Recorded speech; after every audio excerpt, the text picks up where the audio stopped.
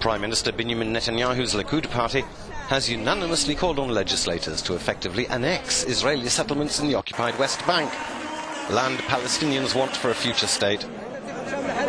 The move could streamline procedures for their construction and expansion. The land is currently under a military jurisdiction.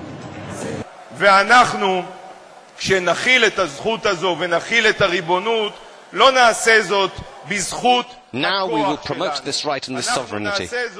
We will not do it through our power, we will do it, as you quite rightly say, through the strength of our historical right, our religious right, our moral right, our biblical right. And the time has come to manifest this right.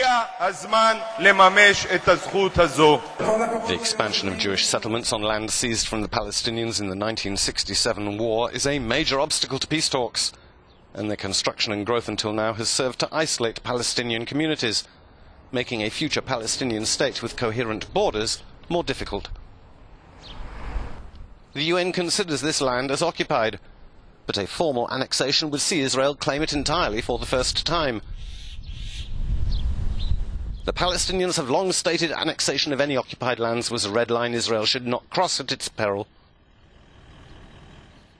However, Israel's politicians appear to have lost patience and seem supported by the White House in taking a more aggressive line.